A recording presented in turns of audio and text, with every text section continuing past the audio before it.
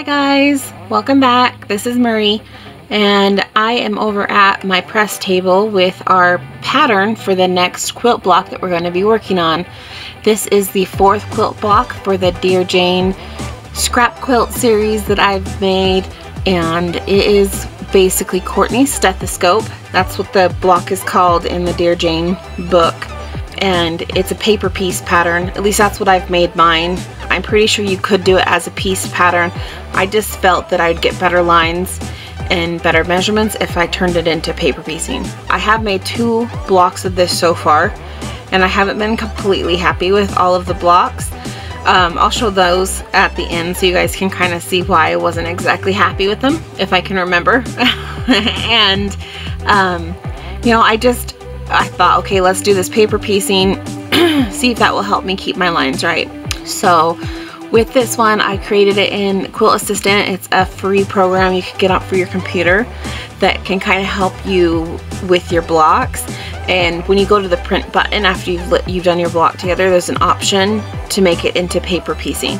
So that's what this, this came from, is I just base, went to the print and selected paper piecing and it created my paper piece pattern for me. So it's pretty easy to use. It makes things kind of nice. I'll put a link down below so you guys can find Quilt Assistant if you want to try to use it and see if it will help you create your blocks as well.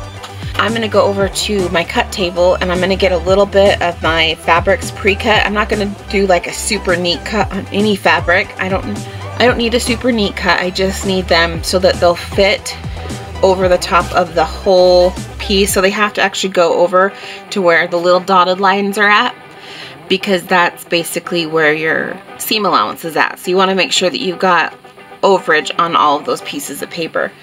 So I'm going to go get that done and then I'll bring you over to the sewing machine and I will show you how to put this all together. Alright, so we are over at my sewing machine and I've got all of my paper pieces cut out. I hope you guys can see that. Um, I basically rough cutted them. They're not perfectly cut into shapes. They're just, I just basically cut them into smaller pieces in order to be able to use them. And that way I can lay them out and get them where I need to go. Now typically with paper piecing you would start with the A block and you would move your way out from there. I'm not going to do that. I'll do my A block and my B block last. They're one of the outside pieces. So I'm going to do those last. They need the smallest amount of fabric. And so I don't want to do those first. I'm actually going to do this one first. It's one of the most complicated. Out of all the pieces I have to do, this one's the most complicated. So I'm going to do this one first that way it's out of the way and I get the hard part done. So what I'm going to do is I'm going to get me my fabrics that I've got over to the side here and I've just roughly cut what I needed off of off of these fabrics and so I don't have like a whole a whole bunch. Now this one is saying this one goes first. So when you do paper piecing, what I found the easiest thing to do is to fold the, fat, the paper where I need to sew and then that way when I go to lay it down on the other side I know that I'm at the right spot. So I'm gonna just I'm just gonna go through and I'm gonna fold all of my sew lines so that when I turn it over I know where I'm placing my fabric. And i I might draw the sew line on the back for you guys just so you can see what I'm talking about. Because you probably aren't going to be able to see that that fold. Okay guys so I have got that already put on there. I've drawn the lines so that you guys be able to see them on your end um, and I'm going to start laying these fabrics into place of where I need them on my pattern so the first those together on the line We'll put that together. So about a quarter of an inch. There we go. So all I did was I just adjusted where my fabric sits so that I could try and save some of it. That's all I did. And so I can get right on that line. Make it easier. all about making things a little bit easier. Now I'm going kind of slow I actually want to adjust my stitch width. I didn't do that. So um, I'm just making it a little bit smaller so it perforates the paper a little bit more and makes it when I tear it off makes it a little easier. So there's the first one stitched down. Now I'm going to rotate. I'm going to sew it off to the side because I don't want to go through all the fabric I just tried to save. And I cut it off the machine. Pull out my pen. Cut that off. So what we do now is we just open this up making sure we finger press really well so we don't have any creases in there. And as long as that white fabric is over where it needs to be on the back here, I've done a good job. So I'm going to go ahead, I'm going to take the white fabric and this green fabric and I'm going to just roughly trim it away. And we've got our first piece in place. Now we're on to the next piece, which is another piece of white fabric. And I'm going to make sure I find one that is going to fit the the triangle piece that's on the back. And I'm going to lay it against there. I'm going to lay it against the the next sew line. I'm going to flip it over and now I'm going to sew on this line.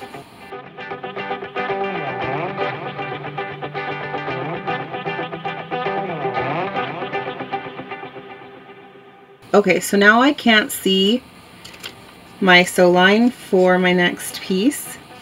What I'm doing is I'm just ripping back the seam allowance on here. Just tearing through the paper, being careful I don't tear out my stitches to get to the point where I'm at my seam allowance. So that's where the seam allowance starts. I'm going to actually trim this a little bit. There we go and this fabric needs to sit quarter of an inch so if I have it just sit right where the fabric starts I will have a good seam allowance on the other side.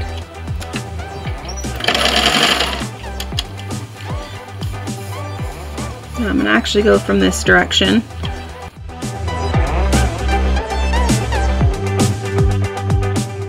So there is that one. And we just press our seams really well. I'm to go ahead and I'm to trim this back. Okay. Put that back down. Alright, so now we need to do the last piece, which is this house looking piece. And we are going to get fabric selected for that one. And I'm to go with this fabric right here. I'm to look for where it needs to be laid or about where it needs to be laid. Okay, so I've got it laid out. I don't need this piece right here as wide as it is. It's definitely too wide on the seam allowance. Doing just a rough cut there. So there's that. Then we flip it over. We lay it down and we sew on the line. So you make sure you have enough fabric to cover all of your paper on the back and you sew where the lines are at.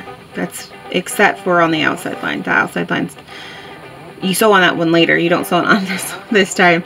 The outside one will be where you sew when you connect all the pieces together. But we first have to press everything and we have to cut all the shapes to exact sizes before we do that last line.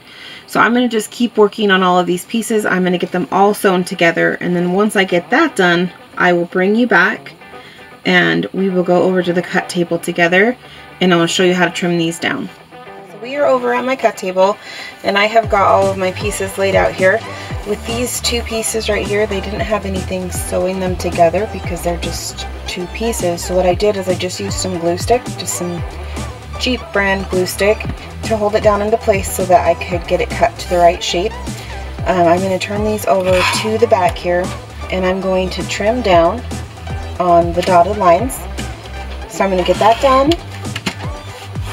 And then we just go back to the sewing table and then we get to sew these all together. So I'm going to keep trimming here and then we'll go back to get them sewn. Oh, and I didn't mention, I did press these. I gave them a quick press before I brought them over to the cut table just so all my pieces are lying flat.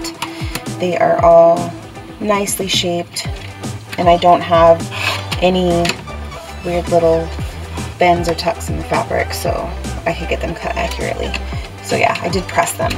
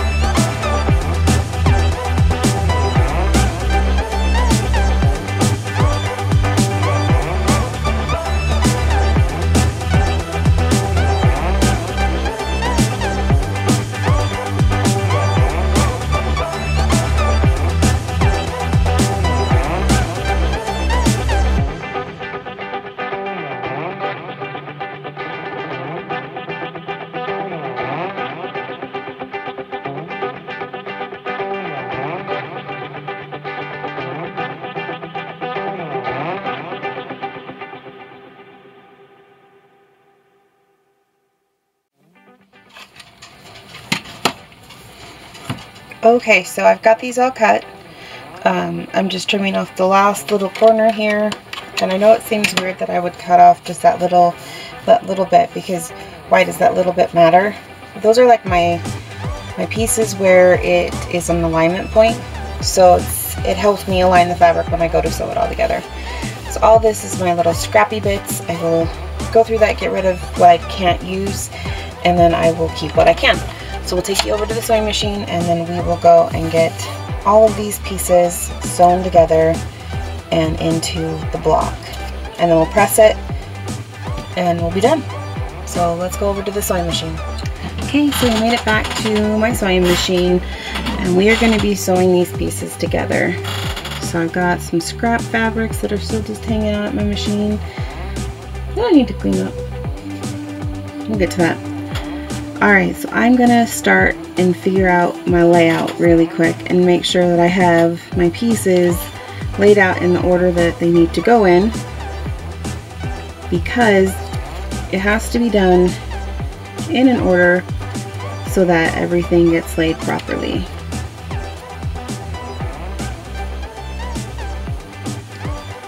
So this is the layout. So I need to sew these in place and I'm going to start sewing them. So we'll start with the center bit because I think that'll be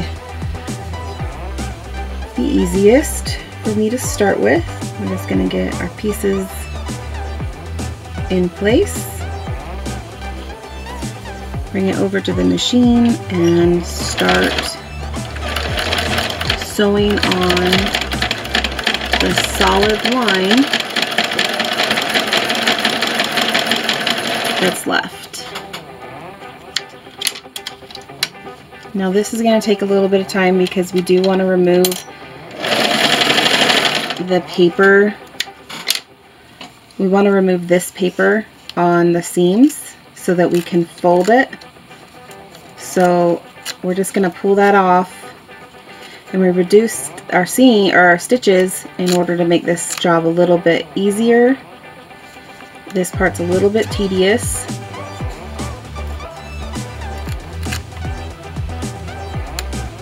Alright guys, so that turned out a lot better than before. It's more even, it's more aligned. I'm happier with that, so I'm going to leave it the way it is this time. And we finally get to move on to the next piece, which is these guys. So these guys go next.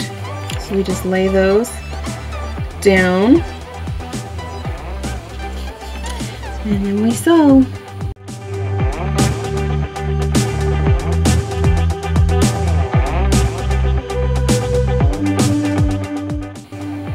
Okay, last block, and then this one is going to have some points that have to match, so you got to be a little bit aware of those points and where they're sitting. I'm going to pin mine. Now, I don't like pinning, you have seen my previous videos, I've expressed this. I don't really care for it. I know there's a function. I know it's it's there for a reason, but I don't personally care for pinning. I tend to always poke myself. I hate poking myself. It sucks. But I'm going to pin to keep my points intact and then I will remove the pins as I go so I don't end up going through a pin.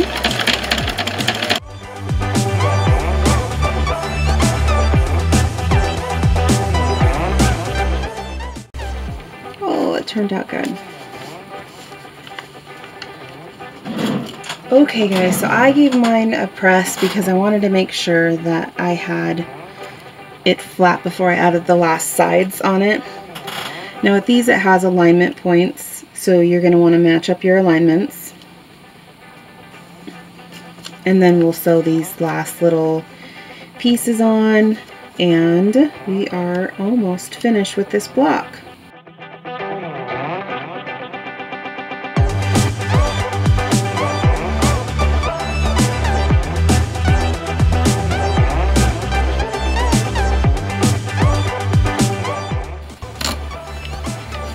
Okay. On to the last part. I'm to press again. And my press table is just behind my sewing table. So I just roll over to it. Makes it kind of nice. And now we are on to the last two pieces, guys. The last two. That's it. Two more pieces. And this block is complete and finished. And we can say we completed block four.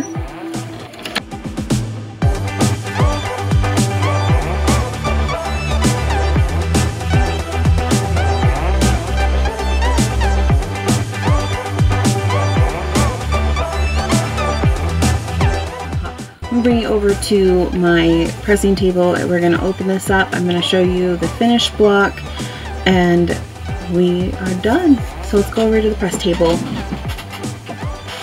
Alright, so we are just going to press this block into place. We need to remove the paper in the back.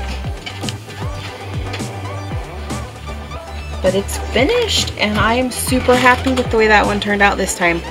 So there it is, you guys. It is complete. It's finished. We don't have crazy lines. Everything looks pretty. I'm very happy with the way this turned out. My center, very this very center line's off just a tiny bit and I could dissect this block a little bit more and tell you all the things that aren't perfect about it. But you know what? I'm, I'm happy with the way this has turned out and and I hope that you keep watching the Dear Jane quilt series and you keep keep enjoying it with me. Um, if you're new to the channel, please subscribe. I'll be completing this quilt throughout probably the next year, year and a half, so it's going to be quite a long series. Um, but I hope that you enjoy watching me create this quilt, and I will see you guys next time. Thanks.